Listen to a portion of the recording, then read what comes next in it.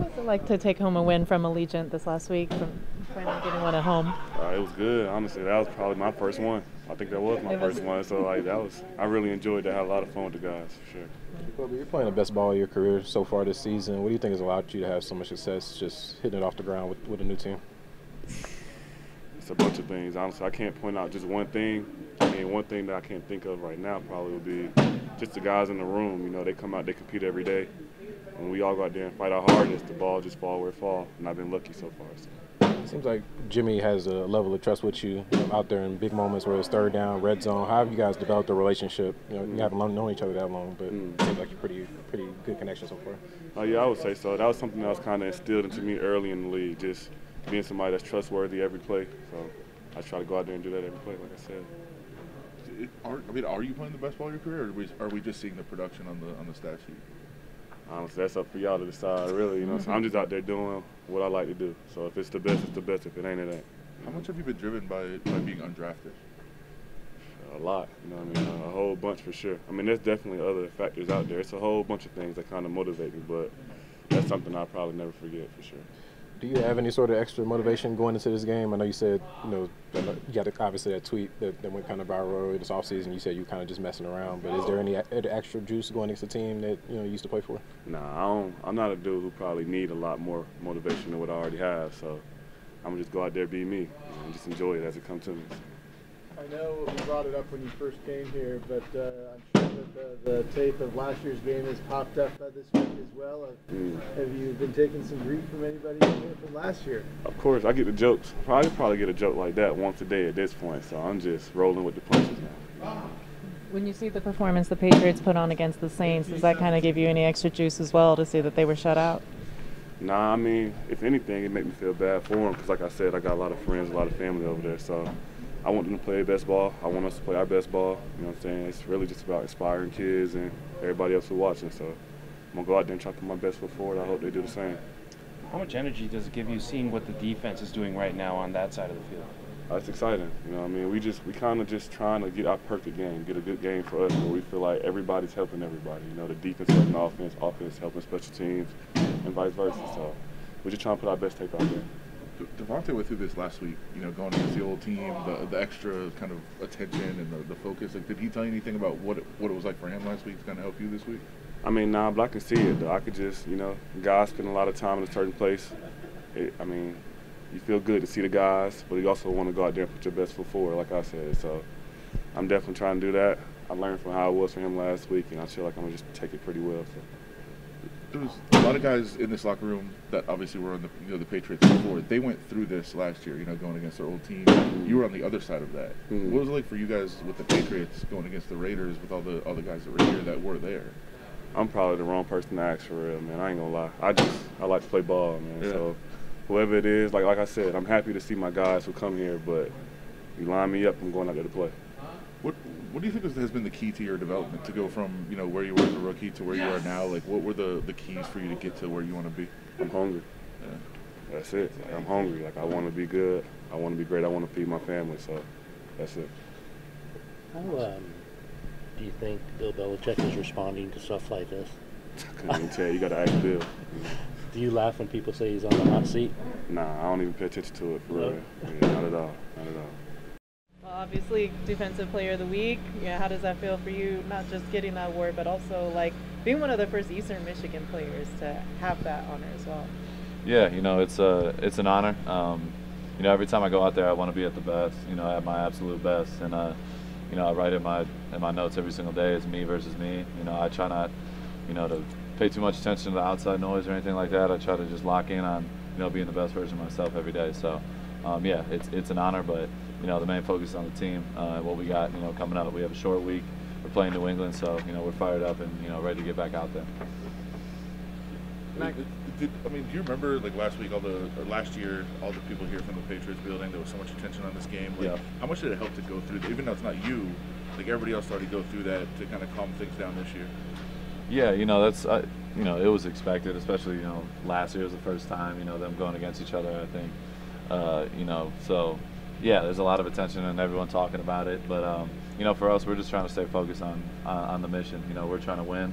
Uh, it doesn't matter who's in front of us, and uh, we know you know they have a lot of talent, a lot of uh, you know great coaches, and uh, it's gonna be it's gonna be a big challenge. So yeah, you know we're focused you know on ourselves and, and finding out you know the best best way we can go out there and you know get another win. Having pitched the shutout in the second half against the Chargers and then limiting the Packers to 13 points, what's the defense doing better now than it was doing in like the first three and a half games, I guess? Yeah, you know, I feel like uh, you know you got to give a lot of credit to Coach Graham. You know, he's doing a doing a great job. You know, leading us and uh, putting us in great positions. And you know, we have a lot of guys that are you know that are bought in. So that's all you can ask for. You know, we're I talked about it post game, but just getting you know more shots at goal and uh, you know continuously going after the ball and hunting the ball. Uh, that's what it's all about. We got to play complementary football. You know, everybody's got to be tied in together. And I think you know it's a credit to all the leaders on you know this side of the ball with you know Spillane, Epps.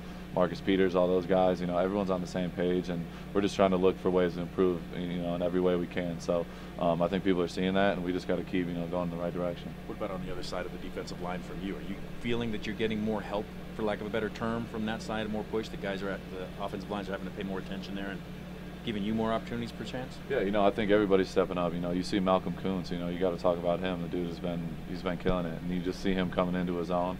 Um, he's in his third year now, and he's just starting to put it together. He's really rushing well. He's playing good against the run. Um, he's getting better, better. You know, every single day he steps in the building. So, you know, uh, I'm super proud of Malcolm. You know, there's I can go on and on and on, but you know, Adam Butler, John Jenkins, Jerry, um, you know, the whole crew. You know, everybody's getting better. Isaac Rochell's coming in getting good snaps.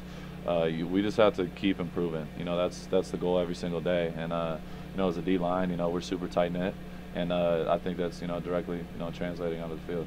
What's the energy been like seeing that the team like Moehrig got the turnover uh, a couple of weeks back, and then the past week you saw Spillane and then be able to get some as well. So what, what's that feeling like in the defensive room? Just uh, kind of seeing that starting to come into fruition. You know, it's awesome. You know, this league, you know, everybody's good. So um, whoever wins the turnover battle, you know, typically wins the game. So you know, that's something we focus on every single day. We do, we drill it, we practice it, we do it in every single way. So um, you know, finally starting to see more turnovers, but it's you know just the beginning. You know, we got to keep doing it um, at a high level, um, keep you know hunting the ball, and uh, that's how you know we're going to help the team win. So uh, yeah, we just got to focus on the details and keep improving. Go for it. People want to talk about the sacks, but you led the league in tackles for loss last year, and you had four. When did things start to click to you as a as a run defender? How important is that to you in your game? Um, it's very important. You know, I want to be the best, you know, complete player I can possibly be and be the best in the league at what I do. So uh, for me, you know, it's not just about rushing the passer. You know, that's the, you know, the sexy stat that everyone looks at. But, um, you know, that's obviously important. Um, but being the best complete player is, is my goal every single day. And, uh, you know, like I talked about before, you know, it's I feel like you know when I came in the league, everybody said they try to put me in a box and say he's a pass rush specialist and he's this and he's that. It's like for me, I want to be able to check every single box and some. And uh, every time I step out there, I, I'm, you know, I have a chip on my shoulder and a point to prove. So um, I'm just trying to improve in every single way I can, and you know, run and pass. You know, I have room for improvement, and that's, uh, you know, that's what I'm, you know, fine tuning every single day. Thinking back, what was that an area you needed? Like early in your career, were you not as good against the run, and is that something you that you focused on working on, or was it just people making things up about you? I wouldn't say they're making it up. You know, there's, you know, there's, it's still like there's still room for improvement in every way of my, you know, every aspect of my game, and uh, that's my approach every day. You know, you never got it. Um, there's always more to do, um, always more to improve on, and uh, that's my that's my mindset every time I go out there. So yeah, you know, early on in my career, I think it, you know, I was a skinnier guy um, typically, and I wasn't just you know setting the hard edges every single play. Like I had that you know that style in my college game. Like I, I had 19, I think 19 TFLs my last year in college. So it's like I'm playing in the backfield, but back then I was a lot more unsound and uh, trying to do too much sometimes.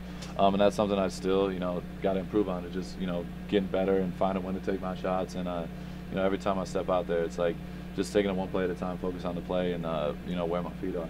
It's been three consecutive games that you guys haven't allowed points in the final quarter of the game. How big is it for you and your unit to be in your best level at the end of games?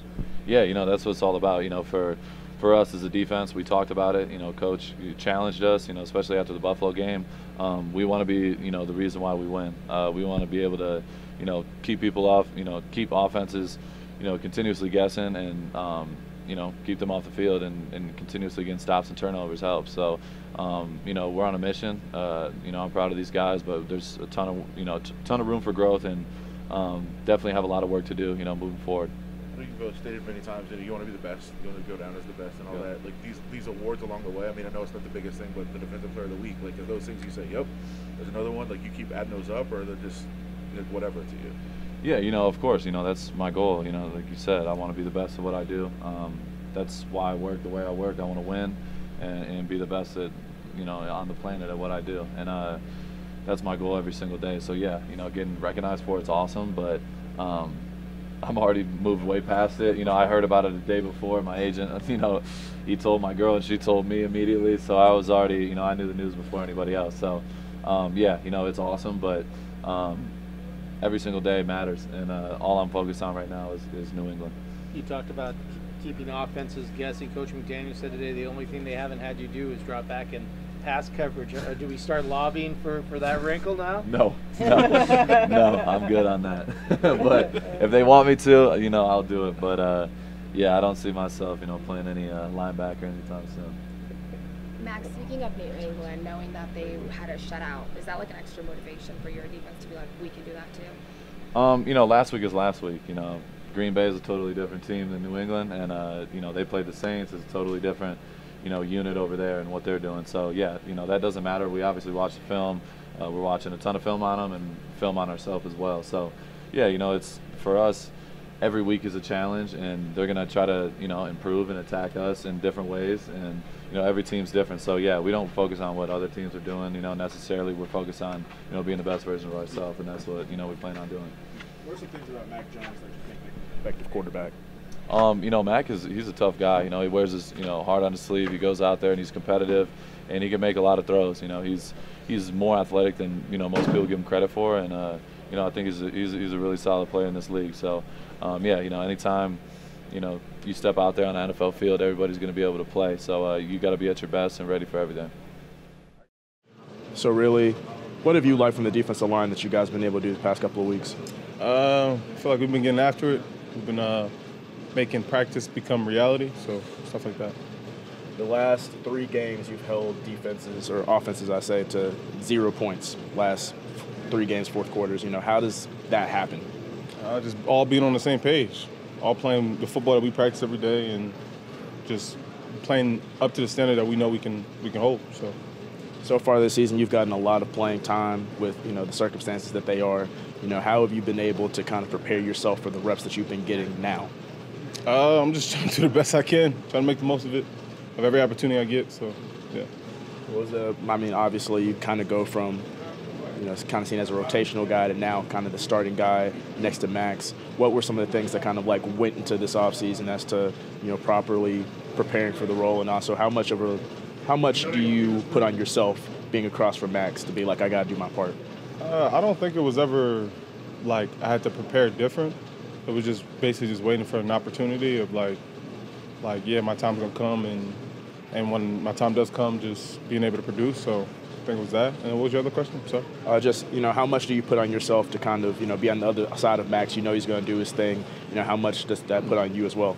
Well, I see I see Maxx work every day, and he's his own biggest critic. So just being around that every day, you know, like things like you know for a fact you can be more harsh on yourself when it comes to critiquing your self play. So, so yeah. Last question. Uh, obviously, you also have some good guys in the interior line. You have Bilal, John Jenkins Adam Butler, guys like that. Can you just talk about what they're able to provide from a pass rushing perspective that helps you? Oh, that middle push, 100%. That pressure from the inside gets the QB to roll out, kind of spilled to us sometimes. So it's always great to have those guys. And, uh, also, when you're looking at the Patriots, you played the Patriots last year. Obviously, there's a little kind of differences here and there, but on film, what do you think about them? Uh, I think it's a solid team. I think we got to prepare like we pre- prepare like everybody else. So just got to be locked in play our game. So I got a question for you. You have eight 10 tackle games. You are now tied for second most in franchise history. Did you know that? and How does that feel? Uh, somebody sent me that. It feels great. Um, hopefully, I can continue and hopefully I have the record here soon. Is that something that you feel like you could build on? Like, okay, I, I'm, I'm close. Yes, sir. Yes, sir. Uh, just keep running to the ball, and the tiger's gonna come to me for sure. Everything that you guys worked on in training camp and preseason, it looks like all of a sudden it's starting to happen. Getting to the quarterback, getting turnovers. Are you? Is, does it, is it kind of like a sigh of relief when you start to see the results the way you guys want it to be? Uh, we knew it would come. It was just about time. Um, we were patient. We just kept working every day, and uh, hopefully we can keep it up. How difficult is it to be be patient? it, it was it was getting rough, uh, but we kept attacking practice every day, and uh, thankfully we were good. Is it nice to be able to be at home two weeks in a row? Yes, sir. It was lovely. I can't wait to see him uh, this Sunday.